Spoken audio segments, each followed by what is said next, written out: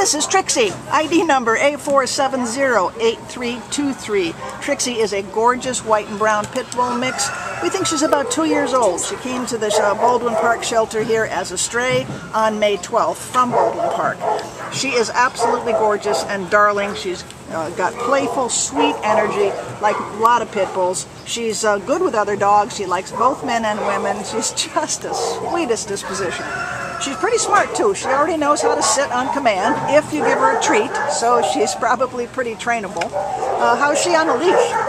Um, she pulls a little bit at first, and then after like a minute or two, she walks a little better. Great. Yeah. Great. And she weighs 61 pounds, don't you, sweetheart? She is just a gorgeous, gorgeous girl.